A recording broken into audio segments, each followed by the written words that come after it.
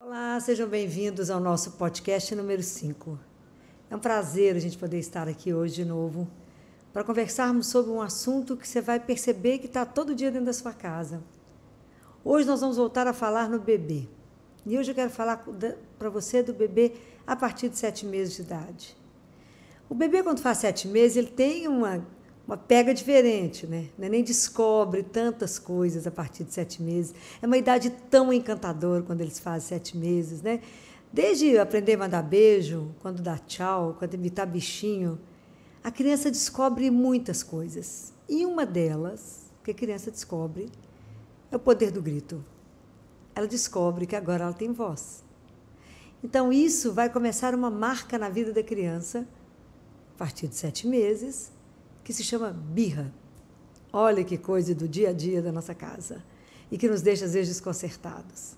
Para a gente poder conversar sobre isso, eu estou tendo o prazer imenso de receber a pedagoga, psicopedagoga Isa Minatel, que a gente trouxe lá de Campinas, especialmente para poder conversar com você, que é mãe, que é pai e que fica, às vezes, sem ação diante da atitude da criança.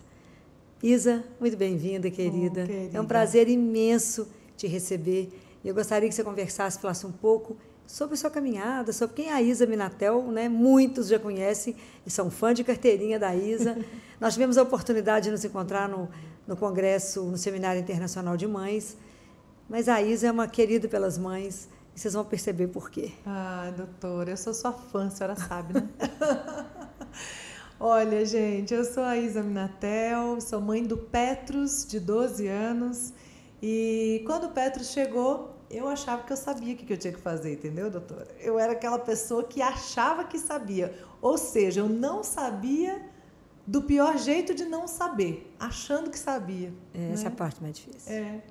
E aí ele veio para me mostrar que na verdade eu não sabia era nada, né? E desde que ele chegou e bagunçou tudo que eu achava que sabia, ele me colocou no melhor estado que a gente fica para aprender, que é sabendo que não sabe. É, chegar nesse estado é que é um pouco mais difícil, é, né? Reconhecer é, isso, né? Exato. Mas com ele foi fácil, porque ele chorava tanto. Ele me deixou tão desconcertada, tão sem saber como estabilizar, como deixar ele bem, que eu eu me rendi. Eu falei, eu realmente eu não sei. Vou pedir ajuda, né? Vou, vou precisar de ajuda.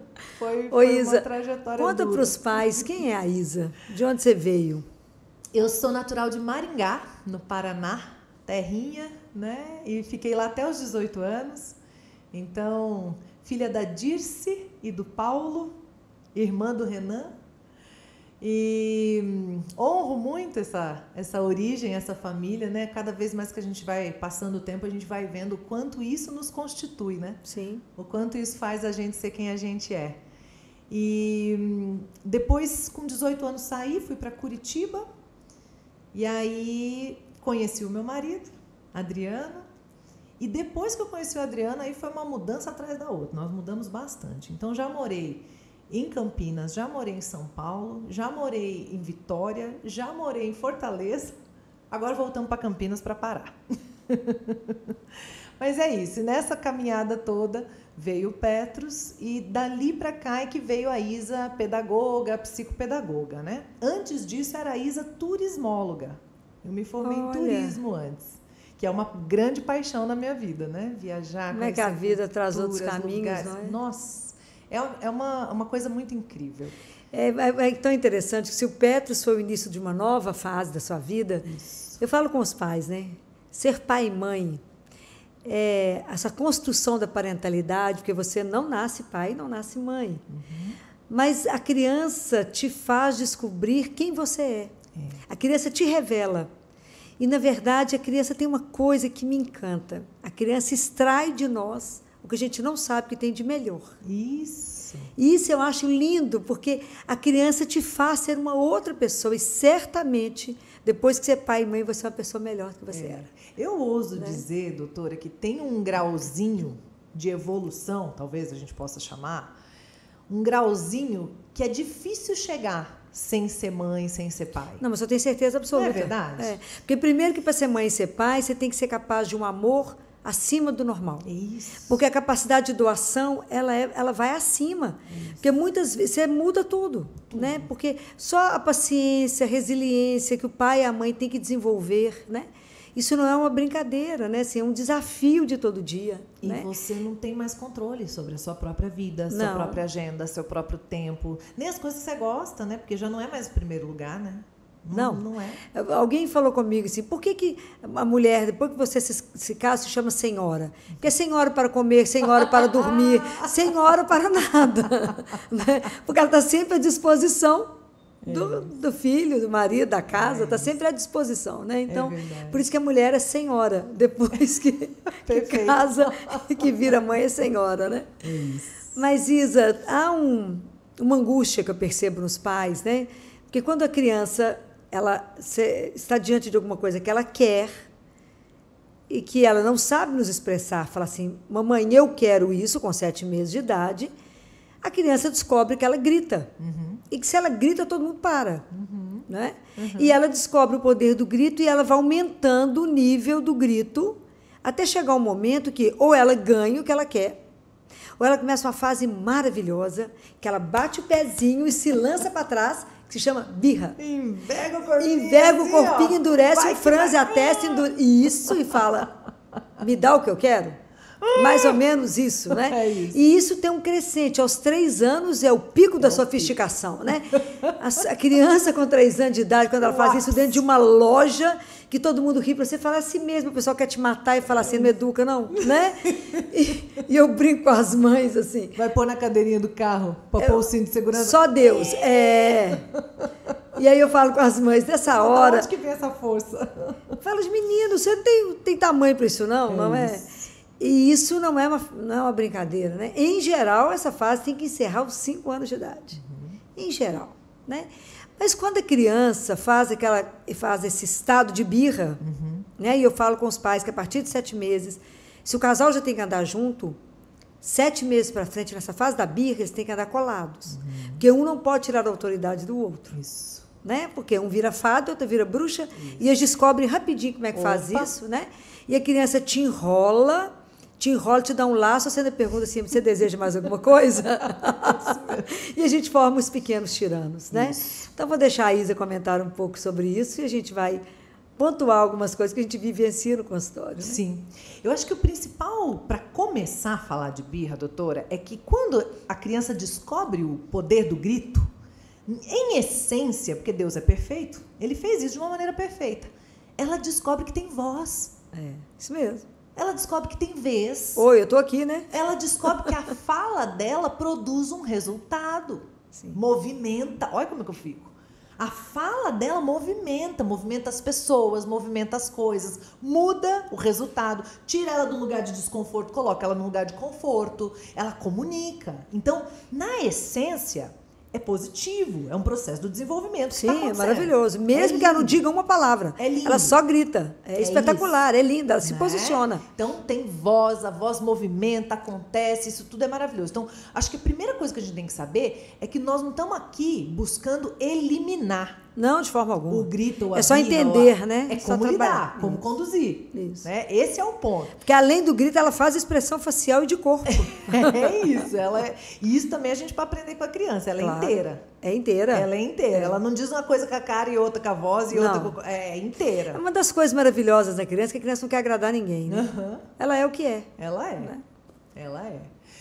E aí vem essa, essa coisa toda que ela vai botando para fora. Então, se a gente vai desse lugar já de entender o que está tá manifestando, está acontecendo agora, como é que eu vou conduzir isso? Sim. Né? De que maneira eu vou. Né? Então, não calar. Não é feio gritar. Isso. Né? Não pode gritar. Que aí eu vou calar. Não resolvi nada. Uhum. A criança não aprendeu também nada. E eu não eduquei. Né? E muitas vezes não funciona. Então a gente vai buscar o que fazer com isso. Então, quando a criança dá um grito, você olha para ela e fala: O que, que você quer? É. O que está acontecendo?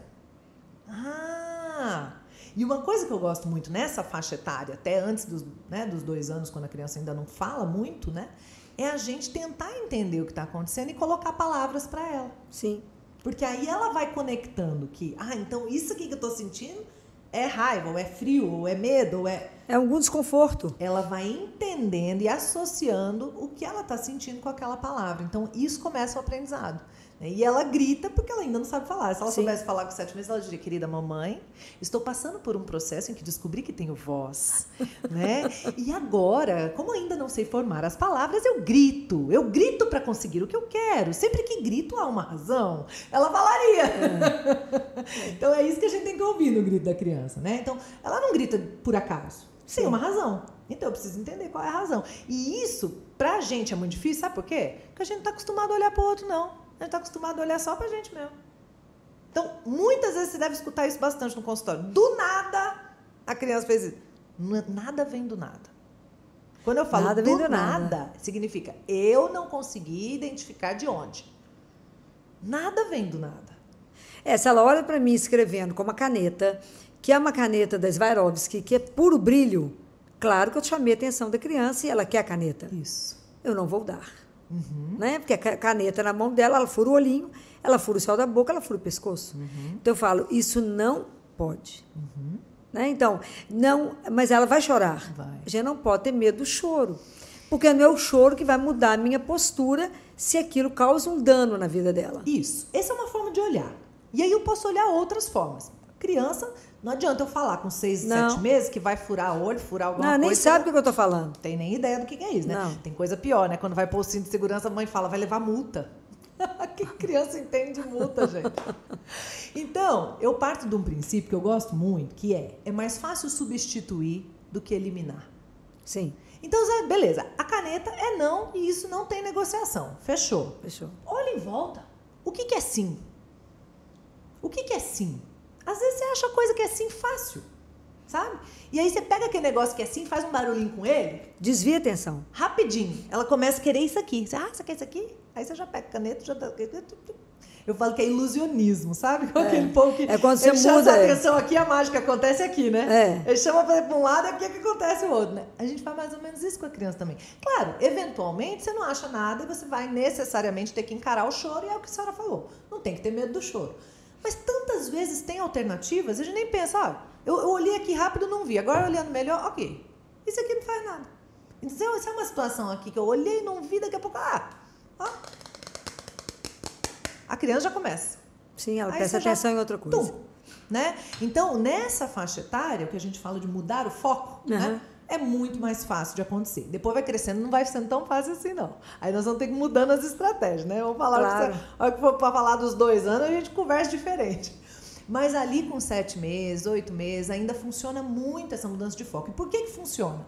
Porque a criança nessa fase ainda está descobrindo tudo. Sim. Ela não, não é um, esse que é um objeto corriqueiro para nós, para ela não é.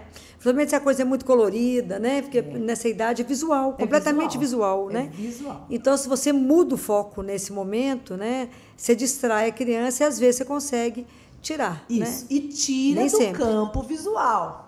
Porque já. Não adianta ficar insistindo no não ali. É. Né? Tira. Não, sai com a criança. Dou esse aqui deixa a caneta brilhosinha é. do lado. Ela é. vai querer de novo, né? Claro, então, porque aquilo lá tá chamando mais atenção do que a outra coisa. Tira de cena, né? né? É isso. Então, essa idade é uma idade boa. Que no consultório a criança vai dar trabalho, ela vai chorar mesmo, né? Porque ela está vivendo uma fase de angústia também. É um brinquedinho que ela gosta, ter mais de uma opção que ela pode, porque ela vai pegar tudo e pôr na boca, então se é uma coisa dela, é mais fácil ter na mão. Sim. A mãe ter na bolsa porque bolsa de mãe é aquela coisa assim, que é um mundo à parte, né? Parece que não tem fundo, né? A mãe sempre tira algo que ninguém está imaginando que tem dentro da bolsa dela, né? É mágica a bolsa de mãe, né? Então, às vezes a mãe tem um brinquedo escondido ali, que ela também jejuou, mas tem outro que a gente desvia, porque é muito curto, porque no instantinho ela já mudou. E já mudou várias vezes, né? Eu falo que é o kit sobrevivência. A gente tem que andar com ele. Tem que sair preparado. É. Sair a preparado. minha unha vermelha é uma. Eu ando como formiguinha e aí ela, ela vai prestar atenção na unha e distrai. Então, Sim. muitas vezes, a música, cantar no ouvido, é uma coisa que às vezes distrai. É né? tão simples no fim das contas, né? É, mas sete meses, mas tem que ter cuidado se ela está no colo e se ela quiser alguma coisa e der uma guinada, nunca deixe de segurar as costas da criança, porque ela pode cair de cabeça. Isso já aconteceu e isso é possível, né? Então, essa fase a gente dá conta um pouco mais, né, Isa? Sim. Mas é criança de dois, três anos, né? Que eu brinco com os pais, na hora da birra, não fique olhando a birra. Uhum. Porque se olhar a criança fazendo birra, ela tira você do seu ponto ótimo. Uhum. E se você sair do seu ponto de observação ali, porque a birra é tão ridícula, porque às vezes é um, uma bobagem que o menino Sim. quer, que você pode perder a classe e conduzir de uma forma errada. E fazer um, um, um estrago maior que ele, né? Isso. Então, assim, você tem que ter, nessa hora, respirar fundo, né? E falo, não sai do seu ponto alto, senão você vai se reduzir a idade da criança. Aí você vai brigar de igual. Isso. Isso é uma questão que não pode acontecer. Isso. E, e por que, que também é muito difícil isso? Porque a maioria de nós não teve educação emocional, cresceu aos trancos e barrancos, e muitos de nós crescemos mais por fora do que por dentro. Por fora temos nossos 30, 40, 50. Por dentro paramos com 5, 6. Aí é uma criança de 6 tentando arrumar a birra da outra de 3. É, tem adulto que continua dando birra, apesar de teoricamente ter encerrado. Não é? Então, o que acontece, né? Esse processo lindo dos dois anos é outra descoberta. Então, se com sete meses ela descobre o poder do grito, com dois anos ela descobre que não é continuação da mãe e do pai, né? É o processo da individuação. Que ela vai lá e descobre não sou minha mãe, não sou meu pai. Então ela tá indo para cá. Se a mãe fala, vai para lá, ela volta. Porque se eu não sou minha mãe, minha mãe falou para lá, eu tenho que eu fazer vou onde diferente. Eu quero. É, eu vou onde eu quero. Eu tenho que fazer diferente. Mas para quem que ela tá falando isso? Porque o adulto que não sabe disso, como eu também não sabia, a gente acha que é pra gente. Tá me desafiando, tá me contrariando. Não é, ela é tá pra falando para ela mesma. Para ela. Eu não sou mamãe. Se mamãe quer para lá, eu quero para cá porque eu não sou mamãe. Aí quando a mãe sabe desse processo e entende, fala, ah, olha lá. Que se ela pudesse falar, igual eu falei com sete meses, né? Ela, mamãe querida, estou vivendo um processo de individuação. Agora preciso contrariá-la para ter certeza que não sou você. Ela não sabe falar isso. Sabe não. É inconsciente, né? Então ela vai para lá. Quando ela percebe que não teve resistência da mãe, que a mãe entendeu que é isso que ela está vivendo, ela volta tudo bem, eu posso ser eu. Eu posso escolher também. Eu posso escolher. E posso querer te seguir. E é. aí nós estamos tudo tranquilo. E é incrível, doutor, em algumas situações, porque daí eu tive a chance de descobrir isso na fase do meu filho. Eu consegui viver isso com ele, né? E eu lembro claramente de uma situação que ele estava lá brincando, a comida estava pronta. Falei, vamos almoçar? Tá na hora de almoçar. Ele, a, a frase preferida da criança nessa idade. Não. Não. É, claro. Não. Porque é isso. Eu sou eu, você é você. Se você quer, eu não. É. Para dizer que eu sou eu. Aí eu olhei e falei, não? Ele falou, não. Falei, ah, então eu vou comer, porque eu já tô com fome. Quando você tiver com fome, você vem. Deu cinco segundos. Aí a cabeça dele fez assim, ah, se eu posso não querer, se tá tudo bem eu não querer, eu posso querer também. É, eu não sou ela, eu sou eu. Tá bom. Não é sobre a comida. Não é, é sobre o meu poder de decisão é sobre descobrir que eu sou eu. É. Né? Claro que em alguns momentos né, a gente vai ter alguma situação que vai precisar conduzir de uma maneira mais enérgica, né? Depende da situação claro. de risco, sei lá. Mas é muito importante entender esse processo que está acontecendo. Isso já muda muito a nossa atitude diante da situação, né? E uma outra coisa que eu gosto muito é aquela base de acompanhar para depois conduzir. Isso também muda tudo. Então vamos supor, vai, vamos pensar na situação de loja de brinquedo? A criança deita no chão querendo comprar um brinquedo que você não vai comprar? Pode ser Mas essa? eu quero. Pode ser essa? É. Você foi lá comprar o presente do aniversário do amiguinho. Isso. E aí você não só escolhe o presente do amiguinho, mas eu quero um presente também. Isso. Né? Claro que depois que aconteceu a primeira vez, você já aprendeu uma coisa. Seria legal ter combinado em casa antes. Sim. Hoje nós vamos lá fazer o quê? É para quem? É aniversário de quem que nós vamos? Então hoje vai comprar presente pra gente? Não, é para quem? Aí você repete que a criança vai então, o combinado é muito E vai chegar lá e ainda vai tentar te enrolar. Mesmo com o combinado, ele vai tentar te enrolar. Não entendo. Mas esse aqui é baratinho, que número que tá aqui? É isso mesmo. a gente sabe que é assim. Aí chegou lá, beleza. A criança tá deitada no chão, gritando que quer alguma coisa. Se a gente vai insistir no contrário, veja, ela quer muito aquilo e ela tá vivendo essa fase da individuação. Isso. Você chama pro outro lado, você acha que ela vem? Claro Nunca. que não. Aí que a coisa vai ficar fervendo. Aí vira cabo de guerra, ela Isso. bate pra lá e você pá, cai, que é aquela loucura, né? Então, se você vai para ela e fala, você quer esse brinquedo, essa boneca, esse carrinho, sei lá o quê, a bola? Quero. Você falou o que ela quer, ela abre o olho para te ouvir. Eu estou interessada nisso. Claro. Você quer a boneca? Quero. Vem cá com a mãe. E é a hora que você conecta com a criança, ou na mão ou no colo. Vem cá. Nós vamos conversar sobre essa boneca. É muito bonita, não é? Acompanha. Primeiro se acompanha. É muito bonita mesmo. Eu achei ela muito bonita. Olha a roupinha. Olha o vestidinho. Olha, vamos tirar uma foto. Vamos tirar uma foto dela? Hoje tá fácil, gente. A Tá, gente- hoje, é- hoje tem recurso. Tá na mão, é. Aí a gente faz assim. E é uma, um presente caro, né? Então, quando for uma data especial, nós vamos comprar. Isso, seu Vamos aniversário. Fazer, vamos fazer uma lista? É. Vamos botar ela aqui na lista? Como é que é o nome dela? Olha aqui as letrinhas, como é que é? Vamos anotar aqui. Porque aí você valida a vez, a voz, o interesse. Escuta o que a criança quer. Escuta. Você vai gastar cinco minutos. Não demora tanto E não assim. vai dar isso. E não vai dar. E não vai dar. Então, então você dá tchau pra boneca, joga um beijo. Nós vamos embora. O dia que for aniversário, ou Natal, ou dia das crianças, sei lá, como que a família tiver a dinâmica dela, né? Nós vamos voltar aqui. Se você ainda quiser, ainda fala assim pro meu filho, se você ainda quiser, É, porque até Daí lá já ele mudou. descobre que né? passa É, também. já mudou, claro. ele já descobre isso, que é outra coisa que ele vai aprender. Ele É, não claro. sabe. Ainda não sabe. Ele não sabe. Mas é tanta opção que vai chegar que aquilo lá já nem lembrava mais, tinha pedido aquilo um dia. E aí, aí é outro aprendizado que vai acontecendo ao longo da vida. É mesmo, né? Esse aqui foi um negócio que. um desejo que deu e passou. Esse foi um desejo que deu e ficou. Esse eu quero mesmo. Ô Isa, você sabe que uma vez eu vi uma cena de uma avó na rua, que é a sabedoria, né? E me encantou muito que eu parei para assistir. Sabe quando a avó sai de casa para fazer alguma coisa ali na- no quarteirão? Saiu do jeito que ela estava em casa com o neto, de mão dada, com o menino dos três anos. Quando ela estava voltando, tinha uma banca de revista e a criança pediu alguma coisa e ela mostrou que estava sem nada, porque ela, ela saiu geralmente para resolver coisa assim, de quarteirão, de vizinho. Sim. Aí você imagina que a criança fez a cena, né? Fez aquele escândalo, minha avó ficou olhando, ele deitou no chão e ele rodou igual um peão no chão. E a avó, então, o que ela fez? Ela começou a ler todas as manchetes dos jornais que estavam expostos. E ela foi lendo aquilo tudo, as manchetes, olhando as revistas. De repente, um silêncio. Ela olhou para mim e falou assim: acabou, acabou, então vamos. Ele deu a mão e foi embora com ela. Eu achei sensacional. Que, que... Ela, ela permitiu que ele descarregasse a frustração dele. Porque uma coisa que eu comento com os Que pais. autocontrole. Ué, Que autocontrole. Mas é porque já é vó. Né? Não precisa, porque às vezes você está com tempo, você está apertada, a mãe está desesperada, ela quer sair, está atrasado, e o menino faz a birra na hora de hora, sair. Você geralmente. fala, agora eu mato, né? Você quer pôr o menino na cadeirinha, cinco segundos para alguma coisa, e o menino em pena fala, eu não vou. Essa é boa também. Essa é boa. Essa é boa Na também. porta da escola, a mãe correndo, aquela confusão, o menino fala, não entro. Ah, eu também tenho. Tem, olha, eu vou contar. Eu tive uma contar? mãe que deixou, a deixou o carro na porta da escola, foi a pena. Porque chega um momento que desespera, né? Porque briga tanto, é isso, né? Queria que você comentasse a cena da cadeirinha. Ó, tem a da cadeirinha e tem a da porta da escola. Tudo causos vividos e, e- e compartilhados por outras famílias também, doutora. Coisas interessantes, né?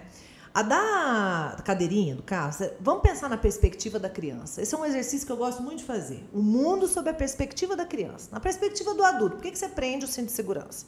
Bom, primeiro que leva multa mesmo, que enquanto não levava multa, nem a gente prendia. Não, né? porque eu- é uma chatice ficar preso, mas É. tudo bem, tem que usar. E o segundo, porque você sabe que pode acontecer um acidente. Se tiver de cinto, a chance de, De acidente é menor, é. Né? é maior. Pronto. Como é que você vai traduzir isso para criança? Porque para criança, ela só fica presa. Ela só, na perspectiva dela, só tem a parte ruim. Só. Eu só É mais que ela presa. quer ficar livre, que ela andar dentro do Ainda- carro, Ainda pular mais dentro a do carro. criança que consegue andar dentro do carro. Então, para Ainda ela. mais a criança que já aprendeu que ela aperta o cinto e pula. É, ela já aprendeu, que ela bate o dedinho e o negócio voa. Voa. Aí você conta uma história. Por que, que a gente conta história? Porque a história é o idioma da criança. É Sim. história, música e brincadeira. São Sim. as três coisas. Eu falo que é o BIM: brincadeira, história e musiquinha. Idioma da criança. Para você falar para ela o que, que acontece. Nossa, eu, eu inventei a história do sapinho que pula-pula, que entrava no carro com a família e adorava pular, para lá e para cá, para lá e para cá, e não queria nunca ficar na cadeirinha. Né? Mas o pai e a mãe insistiam, porque era perigoso e tal. Ele não entendia o que era perigoso, ele não entendia o que era acidente, e ele continuava. Até que um dia ele estava lá no carro junto com a família, o pai pôs o cinto, a mãe pôs o cinto, o irmão sentou na cadeirinha, pôs o cinto e ele foi pulando como que era que ele gostava de fazer. Mas nesse dia apareceu um caminhão na frente do carro do papai sapo. O papai sapo tentou de tudo, freou, tada, não teve jeito, tum, bateu. O sapinho, eu faço assim, fico olhando para a cara da criança. A criança fez assim. Esmagou no vidro do carro. Aí eu olho, se já foi suficiente, eu paro aí, né? Já deu, a criança já tá botando a cadeirinha, só ela mesmo já fechando o cinto, né? Porque ela entendeu o que acontece. Aí eu falo, aí se aquelas crianças que estão assim ainda, assim, sabe? Eu falo, chama a ambulância, aí eu vou, vou aumentando, Ah, né? é. Se for preciso, mata o sapo. No, no gosto do freguês ali, entendeu? Você vai vendo o freguês mais difícil, você vai aumentando a dramaticidade da história. Não exagera também, porque senão tem as crianças que choram. Claro. Já vi isso também. Eu conto a história, aí o pai vai fazer isso, a minha filha chorou, você exagerou. Você tem que ir contando a história e olhando, olhando a reação. Pra ver a medida ótima ali, não precisa passar do ponto. Passa do ponto. Isso. Porque aí ela entendeu. Porque na verdade é exatamente isso. É exatamente isso que a gente quer evitar. A gente quer É. evitar que numa colisão a criança voe. Como eu tive alguns casos que foram parar no CTI. Entende? Exatamente por isso, E atravessou fala, o vidro. É isso. Aí você fala acidente, colisão. O menino sabe o que é isso? UTI. Eles sabem. É. Mas se você conta a história do sapinho, eles estão lá, bota o cinto. Porque agora tem sentido. Eu preciso dar sentido para criança. É, se você der sentido, se você explica Uhum. e ele compreende, ele faz. Isso. Por isso que a criança, ela é tão fácil, muita coisa que a gente orienta e ela e ela faz. Ela precisa entender o porquê. e é outra coisa que ela nos ensina. Tem um monte de coisa que a gente faz e não sabe por quê, tá, doutora? Eu a sei. gente vai copiando a cultura. Todo mundo sempre fez assim.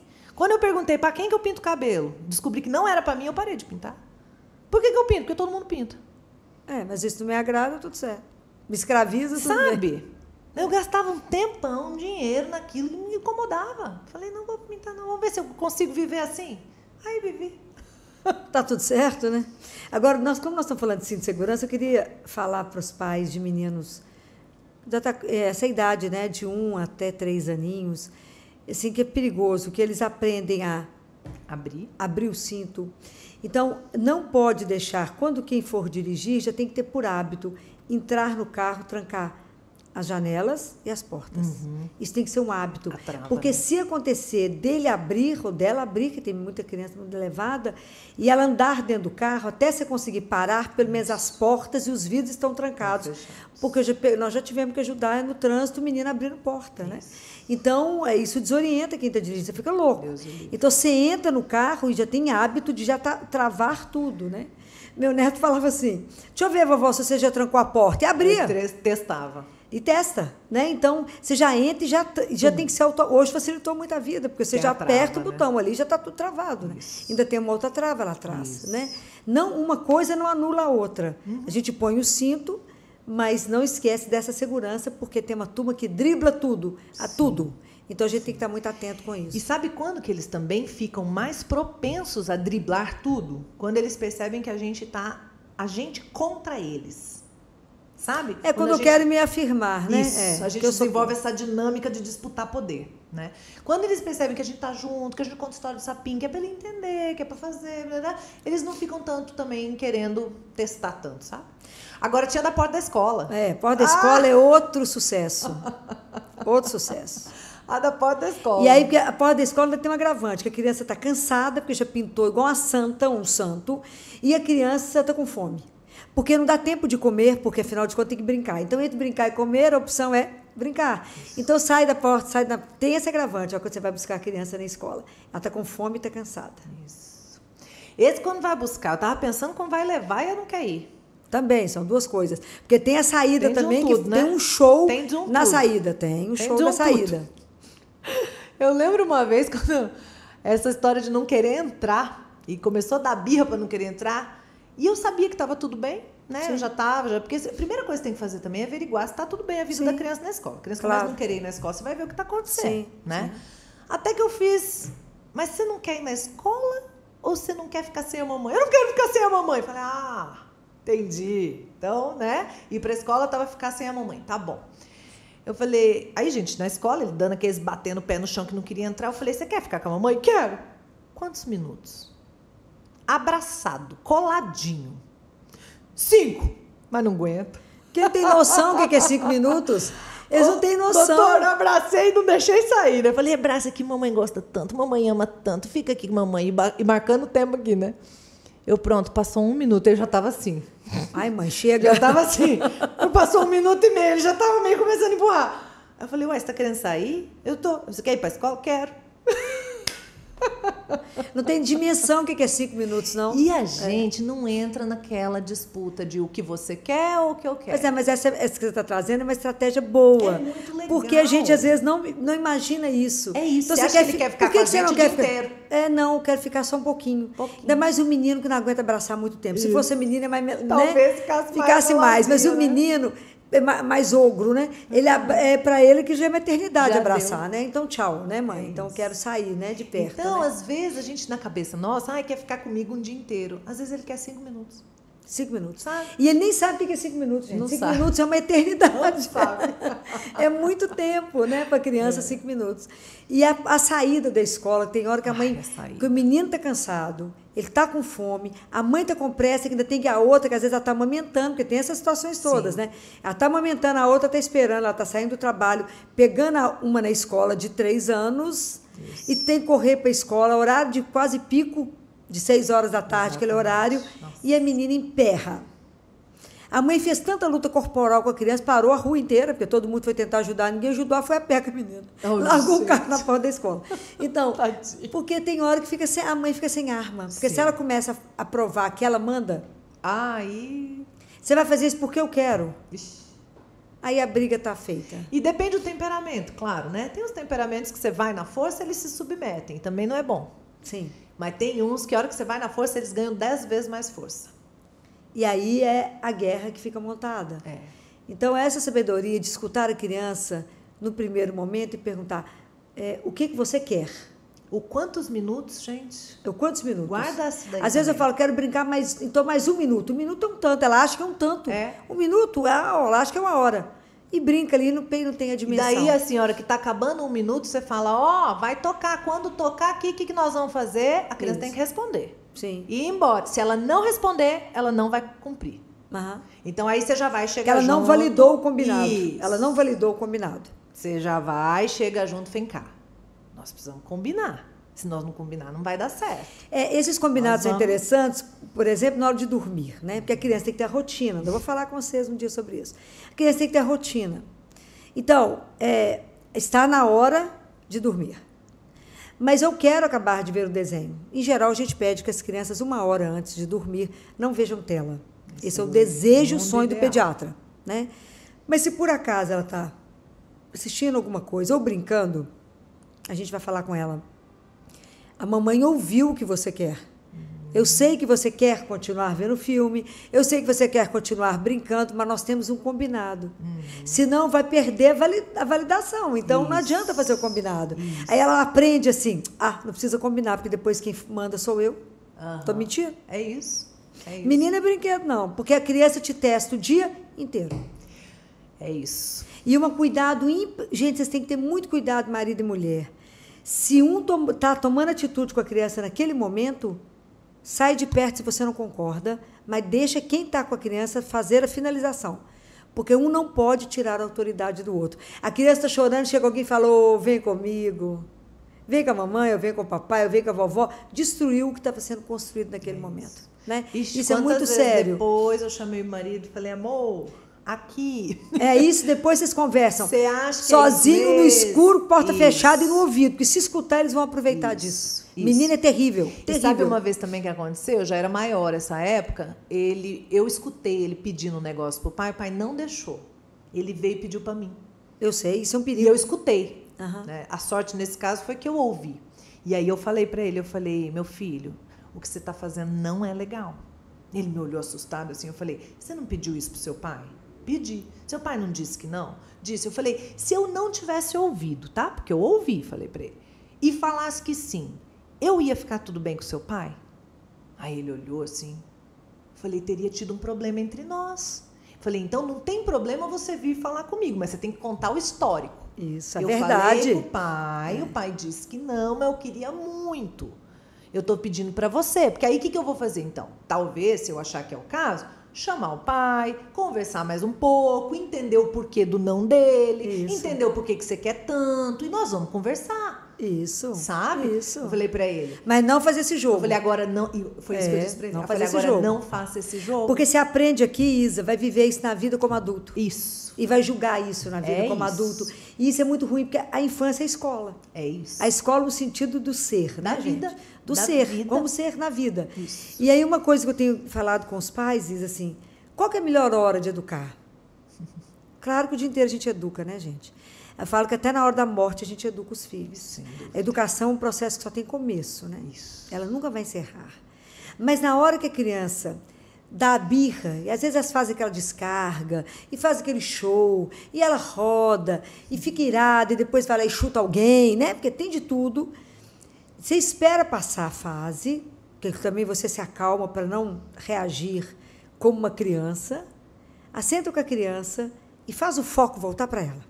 Faz a luz voltar nela e fala: por que, que você fez dessa forma se tinha outros caminhos? O que, que eu estou fazendo com a criança? Eu estou fazendo com que ela se veja, para que ela comece a entender o comportamento dela, como é que ela reagiu, porque existe uma coisa que chama saúde emocional, inteligência emocional. Isso. Porque o QI, gente, ele é estático. Mas a inteligência emocional hoje é uma das coisas mais vitais. De 10 pessoas que você dá emprego, 9 você demite. Né? Ou ele vai dar emprego, ou ela vai ser uma empreendedora, ou ela vai trabalhar para alguém. Então, a gente não lida só com quem a gente ama. Exato. Eu tenho que ver o diferente, eu tenho que aceitar, eu tenho que entender, eu tenho que ter. A vida não é seja feita a vossa vontade, né? É. Então, nós temos que aprender. Então, nesse momento, você chama para a criança para conversar e mostra como é que ela reagiu, fala com ela, tem um outro caminho, você poderia ter feito dessa forma, teria sido mais fácil. Isso. Sempre dá alternativa, Dá né, doutora? alternativa, Eu falo eu acho que a gente se conhecer, Primeiro né? salva a pessoa que está se afogando, né? Porque a birra, a criança está se afogando na própria emoção. Da raiva, né? Do, querer lá descontrolado. De qualquer forma, eu quero. De qualquer forma. É, Aí você salva a criança, não- você não ensina a nadar quem está se afogando. É, você salva. Você salva. É. E você ensina a nadar depois. Agora, tem gente que salva e não ensina a nadar. O que acontece? Se afoga Vai de novo, de de novo, novo. de novo, É. de novo, de novo. Porque naquele momento, a sentar com a criança, É isso. claro que demanda tempo, né, gente? Mas como Sim. diz a minha amiga Isa, qualquer ser vivo dentro de casa gasta tempo. Você vai ter um cachorro, um gato, tudo gasta tempo. É isso. Para não você não ter que gastar tempo, só tenha, tenha coisas inanimadas, né? Mas Pelúcia, boneca, né? Planta de plástico, porque até planta, se você não dedicar um pouquinho, elas morrem. tudo. Tudo que é vivo demanda Então, tempo. exige cuidado, né? Então, imagina, nós estamos formando um ser, né? Isso é o que mais me fascina, né? É isso. A- a- o ser pai e mãe, né? E a gente como pediatra participa disso, você como psicopedagoga, é o homem e a mulher que nós vamos deixar. É isso. Né? Como é que eu estou construindo essas emoções que chegam tudo nesse tumulto? Ela olha, eu quero, objeto do meu desejo, eu quero isso agora. Não quero saber se isso queima, se não queima, se isso corta ou se não corta, eu quero. Né? Então, por isso que eu acho lindo a palavra que se chama, que é muito, o povo não gosta, mas eu adoro a palavra, que se chama autoridade. Sim. Porque a autoridade é estar ao lado para fazê-lo crescer. Isso. Isso que se É chama lindo, autoridade. é então, por isso que a gente exerce isso na Precisa maestria, ter, né? é. Pai e mãe têm autoridade sobre a criança, por quê? Porque eu estou te ensinando, estou te ajudando a crescer, até você andar com suas pernas, voar com suas asas, não Isso. precisar mais de mim. Tamo né? junto. É, mas por enquanto eu estou te formando, você sofrer menos, meu filho. É isso. Você bater menos a cabeça, se você souber se ver. Uhum. Então eu sou seu espelho que reflita aquilo que você é. Isso. É lindo Né? A gente demais. precisa do outro, né? Eu acho bacana assim, porque como é que eu preciso, tanto que eu preciso do outro, eu vejo isso sempre quando eu estou dirigindo e que eu não percebi que quando eu saí da garagem eu mantive o farol do meu carro aceso, porque é o outro que vai me mostrar que o farol está ligado. Sim. Eu falo, ó, o farol do meu carro está ligado, né? Então é sempre o outro. Então a criança faz e porque também a criança vai sempre olhar para o pai e para a mãe para ver se ele é aprovado ou não naquela atitude. Isso. E a aprovação pode vir também de muitas formas, né? Sim. Então, assim, aqui eu falei, não é bonito, não faça isso. Não é. Depois eu falei, doutora, você não sabe o que meu filho fez. Aí conto dando risada aqui. Falando, Aí o menino fala, olha, na verdade "Ah, eles gostaram. Gente, né? Isso deu um ibope danado. Quando eu quiser minha mãe falando de mim, ó, o que, que eu faço? Eu já sei. É. Né? Então, tá vendo é que a gente tem que ter É cuidado? sutil, né? Porque menino não é brinquedo. Não é. Não é. Eles são terríveis. E eles vão te mapeando, assim, ó. E repete exatamente o comportamento, maravilhosos, né? Eles mostram tanto da gente, né? E a primeira forma que a criança se vê é É- como a gente se vê, né? Isso. Como a gente vê. É porque a criança vai ser aquilo que você acha que ela é. É, ela Como tende a expectativa. É, ela tende a isso. Por isso que eu falo, nunca fale uma palavra negativa do seu filho. Ah, porque ele é muito tagarela. Não, comunicativo. Isso. Ah, porque ele não para, é dinâmico. ah, porque ele é tímido. Não, não, não, não, não. Ele é seletivo, reservado. Só fala coisa boa, porque cada palavra dita é uma semente plantada. É é? verdade. É, isso é E seríssimo, ele- né? é sério. É seríssimo É isso. sério. Quando fala, é, esse menino não dá conta de calçar um tênis, fala, não, claro que você é capaz. Não, claro que no consultório, por exemplo, a gente quer que o menino tire a roupa rápido, faça mais rápido. Uhum. Mas eu tiro a autonomia dele e eu tenho que saber até onde que ele já está dando conta. A mãe tenta fazer, fala, não, peraí. Fala, claro que você é capaz de tirar a sua blusa, o seu short. Claro que você é capaz. Aí ele se sente todo empoderado para poder né? tirar isso, né? E me mostrar que dá conta de fazer isso, né? E você vai dando para o seu filho autoconfiança. Porque assim, doutora, a gente vai achando que o problema é a birra, é entrar na escola, é sair da escola, é botar o cinto. Na verdade, a gente, enquanto está vivendo tudo isso, o que está acontecendo é a construção da identidade e da autoestima. É. E o jeito que a gente escolher de conduzir isso tudo vai impactar na identidade e na autoestima. Porque se a criança se sabe amada, né? Eu fico lembrando quando meu neto foi para a escola, pela primeira vez ele olhou para a mãe e falou assim: Você vai me buscar? Você vai vir me buscar? Vou, então tchau. Então, tchau. Só preciso ter certeza disso. Você vai vir me buscar? Vou, então tchau. Maravilhoso. Hein? Só isso? É, então tchau. E vazou. Que Né? maravilha. Então tchau. pois é, eu preciso ter certeza. É isso. E é uma outra coisa, só para a gente encerrar. É, nunca atrase para pegar seu filho. Nunca deixe seu filho esperando, principalmente se ele estudar na parte da tarde. Que vai escurecendo e ele vai ficando sozinho. A sensação de abandono, de ser esquecido, é uma tragédia para a vida. Que não é brincadeira. Depois, haja psicologia, Haja terapia. haja terapia para dar conta de resolver É desamparo, né? esse desamparo. Porque a criança se sente abandonada. Se todo mundo veio buscar e ninguém, na verdade, ninguém veio. Né? Então é muito triste isso para a criança. Ô, gente, tudo isso que a gente conversou foi uma pincelada sobre um assunto que é esse que vai desafiar vocês. Né? Então, importante, pai e mãe tem que ter unidade. Isso. É um casal. Não tem um mais importante do que o outro. Não tem essa história, você ama mais o pai ou a mãe? Não. Ai, gente, isso é uma loucura. Isso é cruel. É uma loucura. É o cruel. Mas é, a criança precisa da ternura da mãe e da firmeza do pai, do colo do pai, do aconchego, da segurança. Isso constrói. Né? Então, é, é unidade, é casal. Um não tira a autoridade do outro. Escuta a demanda do menino e age de acordo com a faixa etária. A gente vai vendo a compreensão. Essas dicas que a Isa deixou foram maravilhosas, né? É, essa do brinquedo, de levar lá e falar, então vamos anotar, vamos fazer uma foto. Faz Porque todo mundo passa isso na porta de, Isso. de loja. Quem não passa é porque você é olhado nessa hora e o pessoal fala com você assim, você é incapaz, né? Como é que você faz isso, né? Porque o menino birrento, ele socialmente é inaceitável. É. Você vai fazer a lista de aniversário, você fala, aquele, obrigado, vamos pular outro. Não é? Sim. Não, meu filho tinha uma lista, doutora, que ele tinha presente de aniversário, Natal e Dia das Crianças até 21 anos. Ele já tinha a lista? Porque tudo ele queria. Eu falei, vamos pôr na lista. E eu ia falando, pôr na lista. Pôr na, na lista. Pôr na é. lista. Aí eu falo com os pais, quando você não souber o que fazer, está dentro de um shopping, assenta com muita elegância e fica esperando ele, ele rodar. Aí, se alguém falar, é seu, você fala só a orelha. O resto é pode levar, né? Mas não perca a classe. Isso. Porque quanto mais plateia, mais eu estou dando fogo para lenha. Isso. Né? Ignorar, espera. Se você não está dando conta, se aquele dia foi estressante, você está cansado, você está estressado, você não consegue pensar em nada do que a Isa falou, assenta e fica quieto. Mas não fica olhando, deixa, deixa passar. Abstrai. Fala, não vou conseguir. Aconselhe. Lê as manchetes do jornal. Vai ler as manchetes do jornal, vai fazer alguma coisa e abstrai. Daqui a pouco a birra passa e você vai poder conversar sobre isso. Tá? Mas não perca a sua classe. É né? Mantenha a sua idade né, mental ali naquele Isso. momento, né? Para que a gente não, às vezes, é, é um momento que às vezes a pessoa é, se desorienta e bate, né, e machuca, mas numa hora dessa abstrai.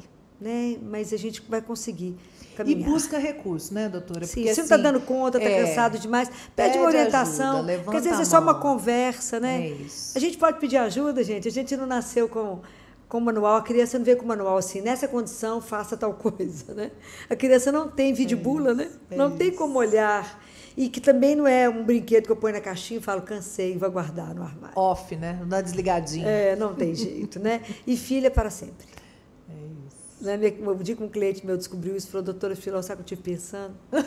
Filha para sempre. Falei, eu vou te contar uma coisa, tem outra parte. Porque vai casar, né? Ou não, vai ter um companheiro ou uma companheira. Vai ter filho, vai multiplicando as complicações e as preocupações. É né? igual eu. Um não dia, tem.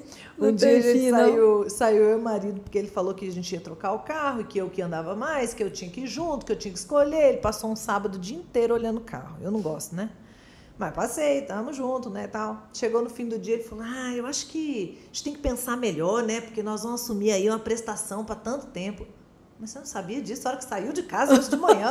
Você vai pensar nisso agora? Tá pior esse aí, que chegou à conclusão agora que o filho é para sempre. É. Filho é para É para sempre. sempre, né? Mas é uma experiência única e imperdível, né? Então, muito obrigado pela, por terem ficado nos ouvindo. E a gente vai aproveitar a presença da Isa e vamos conversar sobre outros assuntos. Muito obrigada. Obrigada. Obrigada. Isa. Foi muito bom. E adorei essas dicas aí, que eu acho que vai ajudar muito pai e mãe a poder conduzir isso de forma melhor. Deus abençoe, é isso que a gente espera. Obrigada, viu? Obrigada, querida. Obrigada, gente.